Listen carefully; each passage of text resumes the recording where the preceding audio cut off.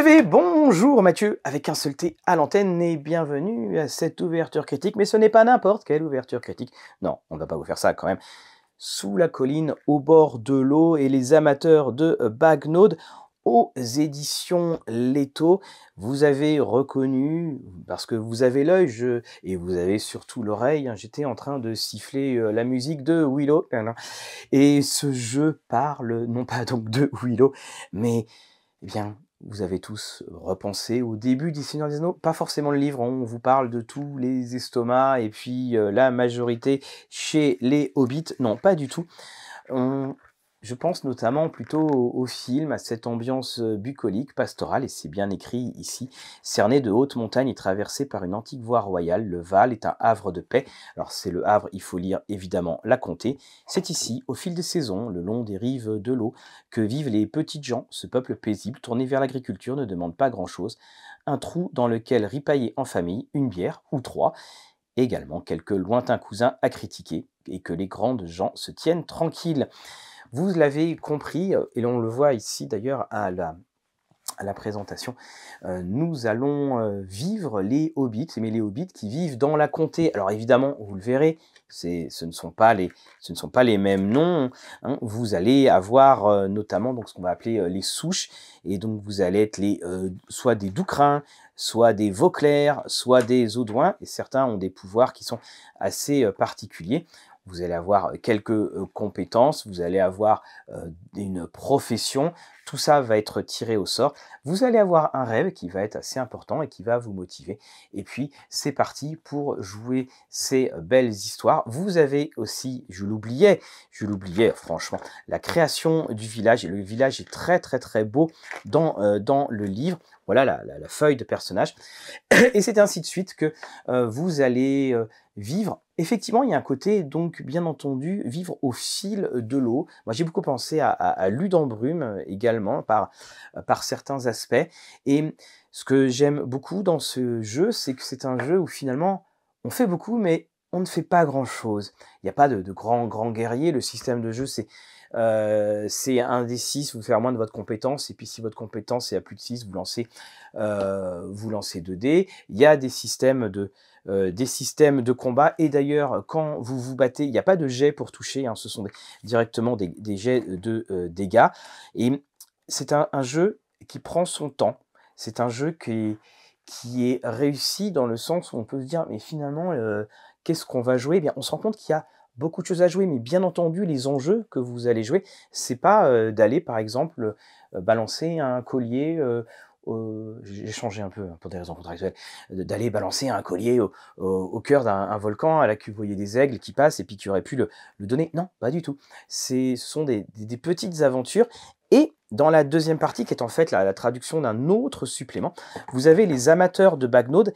Et là, on va aller un petit peu plus loin, c'est qu'on va créer les alentours de, votre pays. D'ailleurs, on les crée avec un système très euh, OSR, c'est-à-dire que vous lancez des dés sur une carte euh, enfin plus précisément sur une feuille vierge, vous lancez des dés et là où arrivent les dés, ce sont des points en particulier, ce sont des, repères, collines, sources, forêts abandonnées, enfin fermes abandonnées, tertre, truc géant, ça j'aime bien le, truc géant.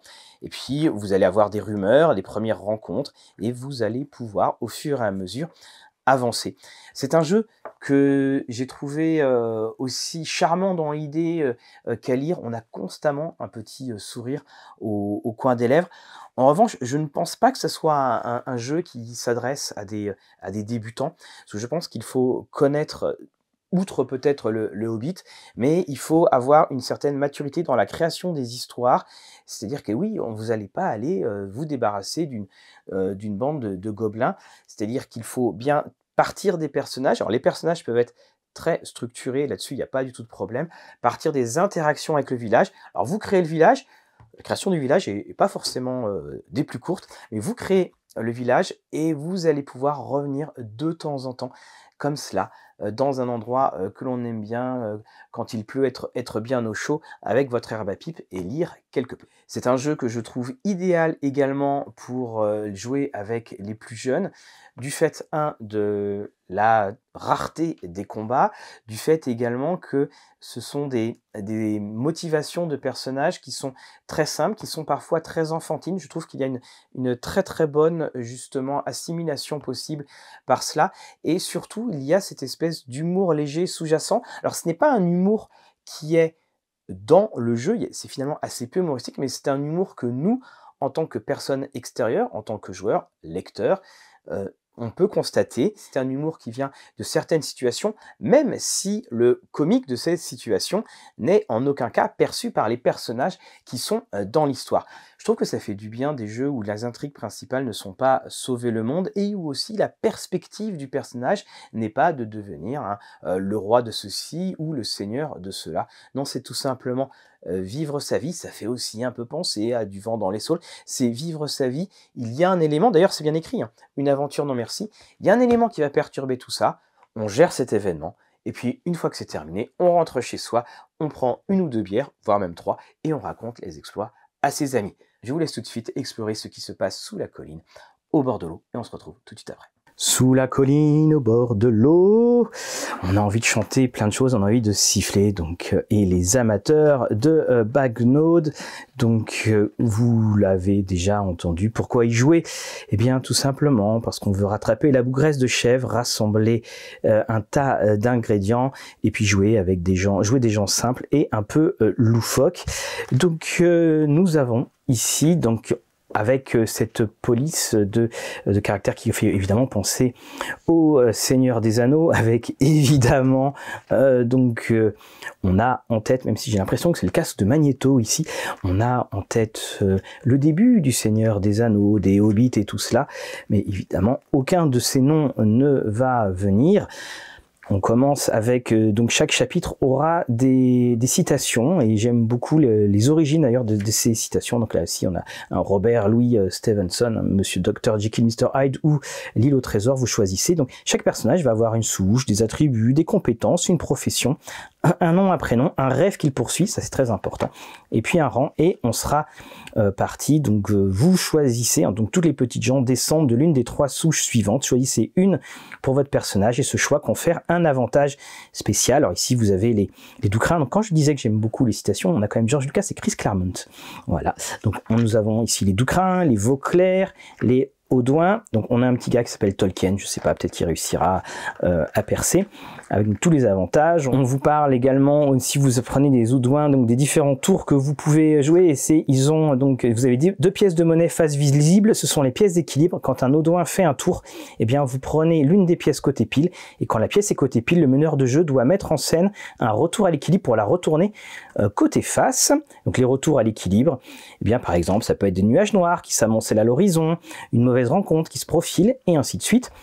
Les attributs, charisme, constitution, dextérité, intelligence, sagesse, les compétences, chance, charme, dressage, nature, et votre profession. Et puis c'est là où on rentre dans l'aspect délicieux du jeu, euh, brasseur, cordier, courrier, écarisseur, euh, ferblantier, celui-là on, on, l'a pas souvent, et on lance, hein, on, a 50 choix qui sont, qui sont faits. Plus tard, vous pouvez lancer euh, donc des, des D66 on propose les prénoms masculins, féminins, euh, neutres, et puis on a également donc les noms euh, de famille. Là aussi, les noms de famille, on, s'amuse bien. Vous voyez, sur un D66, vieil enfant, Val de l'Or, Touquet, Toff.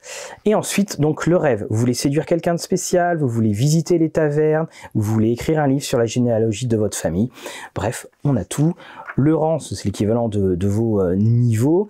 Et puis votre village. Et là, vous allez créer le, village. Alors ça, c'est quelque chose que je trouve superbe. C'est aussi à la fin, ici, où vous pouvez mettre votre euh, vous mettez les différents noms et c'est ça que, que j'aime beaucoup c'est que on a ce support graphique pour créer le village, c'est pas vous prenez euh, vous prenez des cartes et puis vous écrivez euh, dessus. Là on a vraiment un support graphique, on écrit dans le village et je trouve que ça c'est du, du, meilleur effet. Donc tous les tous les personnages sont originaires du même village, pendant que les joueurs créent leur personnage, le meneur doit créer le village. Alors autant vous dire donc là, le village, vous allez le créer, mais ça peut prendre du temps. Donc, le nom du village, les tavernes, au-delà de la haie, les lieux et les habitants, la salle communale. Et là, pas d'aventure, merci. Ils le disent bien, hein, pas d'aventure, merci. Et puis, la citation, c'est sûr, d'un jeu Sierra Online. Le déroulement d'une partie de Sous la colline est un peu différent de ce qu'on propose. Vous n'avez rien d'un pillard. Vous êtes juste une petite gens respectable, essayant euh, d'être une bonne personne. Mais malgré ça, il y a des choses déplaçantes qui arrivent. Donc euh, les, différents euh, fondamentaux, c'est oui, tu peux le faire, dis-moi en plus, vérifions si tu arrives, non, je ne peux pas le faire. Et on va avoir donc ce système de jeu, hein. vous allez lancer euh, vous allez lancer un des six, donc les tests de compétences, dressage, nature, subtilité. Là, on a aussi les, les beaux habits, les fêtes et préparatifs, les gains de rang. Euh, qu'est-ce qu'il y a dans ma poche? Là aussi, clin d'œil, énorme, euh, énorme clin d'œil. Donc on a matériel professionnel, une pipe et une blague d'herbe à pipe et un des quatre sous. Donc châtaigne et marron, là sont donc les règles de combat. Donc les vraies armes comme des épées naines et arcs de chasse infligent un des six. Les armes improvisées infligent un des quatre. Vous voyez, on, a énormément euh, simplifié. Et on a les banquets. Alors les banquets commencent chaque saison et lorsque vous arrivez à un banquet, vous vous, détendez. De plus, l'alcool vous invite à bavarder et vous lancez un des vins pour déterminer le sujet autour duquel tourne la conversation de votre banquet et chaque PJ doit partager une anecdote. Alors par exemple, c'est que feriez-vous si l'on vous donnait 1000 pièces d'or? Quel est votre jeu préféré? Ainsi de suite. Et là, donc, chapitre 3, vivre dans la commune, les rêves journée. Donc, plusieurs exemples qui sont euh, donnés. Les quatre saisons, vous êtes dans une taverne, les trucs inquiétants. Donc là aussi, hein, tout vous est donné pour euh, lancer vos, euh, vos dés. ces générations, ici par exemple, nous avons un jour comme les autres. Au début de chaque saison, le meneur de jeu lance un des 20 et consulte la table. Autant de pistes à suivre pour créer jeu. Après avoir assisté à toute une pièce de théâtre derrière la bonnette surdimensionnée de maîtresse Val-de-L'Or, il semble grand temps de légiférer sur le port des couvre-chefs lors des, réceptions publiques. Allez-vous signer la pétition? Donc, c'est un jeu sans enjeu et c'est ça que j'aime beaucoup. Amis, ennemis, des trolls de bêtes. Donc, on vous présente euh, différents euh, différents personnages. Et ensuite, donc, on revient à la carte. Et donc, les amateurs de backnotes, c'est que nous allons quitter le village. On va aller au-delà de, de, de, ce village. Donc là aussi, on se munit d'une pièce de papier, on vous propose là, c'est pas tant un dessin, vous générez des repères en lançant un des 4 et un des 6. Donc c'est-à-dire que vous lancez les, dés, alors ça c'est très euh, OSR, vous lancez les dés, et puis là où arrive sur votre, sur euh, votre feuille, eh bien vous créez un endroit, un repère. Donc les dés lancés euh, génèrent des repères sur votre carte. Leur emplacement marque leur position et la valeur de la face détermine leur nature. Donc ça va de 1 à 20, création collaborative des cartes et euh, des rumeurs, les noms des différentes rumeurs qui sont données, les différentes rencontres au repère. Bref, vous allez pouvoir aller voyager, vous allez pouvoir aller au-delà, comme disait Sam, hein, je ne suis jamais allé euh, plus loin, Parfois, on va rencontrer des euh, trucs géants, les actions de voyage. Dans les appendices, on va expliquer la manière de franciser les mots. Donc, c'est pour ça que vous avez Underhill by Water and Walking Holiday, c'est-à-dire qu'on dit, voilà, on a francisé et ça vous permet de faire un lien avec les euh, différentes, euh, les différentes VO. Vous avez aussi comment mettre en scène le confort, tous ces conseils de maître de jeu, l'attachement, la communauté, et puis feuille de personnage, table de rencontre en chemin parce qu'il peut vous arriver beaucoup de choses et on terminera par l'écran. Et l'écran bien montre bien l'aspect paisible quand on vit dans un trou et on reprend côté maître de jeu, tout ce qui va être test de euh, compétences, châtaigne et marron, donc c'est les règles de combat, euh, tour, pièce et retour à, l'équilibre. Et là, ce que je regrette, c'est côté maître de jeu, il n'y a absolument, enfin, il n'y a que les règles, et comme les règles sont très très simples, ça aurait été peut-être plus intéressant de mettre des générateurs de noms, enfin bref, quelque chose qui va aider au déroulement de la campagne. Voilà donc euh, revenu. J'espère que vous avez pris votre temps. Oh, bon, d'accord, vos bottes sont crottées. Est-ce si important que cela finalement? Pour ce qui est de, ce euh, bonus, alors vous avez vu aussi, alors voilà euh, l'écran, l'écran est ici. Je vous l'ai déjà montré. Hein, donc c'est un écran qui est très textuel hein, parce que finalement il y a peut-être plus de texte que de choses chiffrées à mettre dans ce système euh, de jeu. Il y a trois bonus alors, qui n'ont absolument rien euh, d'original. Le premier, ce sera Alan Lee donc le sketchbook, donc c'est les carnets de croquis du, du Hobbit, hein, celui-ci en, est en VO. Euh, également Alan Lee, euh, le carnet croquis du Seigneur des Anneaux. Et puis euh, John Howe, donc le, guide du voyageur en, terre du milieu.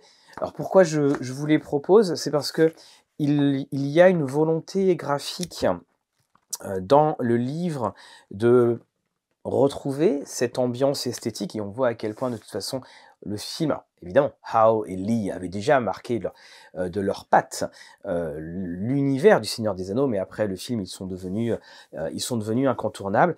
Et ce que j'aime beaucoup dans ces bouquins, c'est pour ça que je vous les propose, c'est que c'est tout simplement, ce sont des croquis.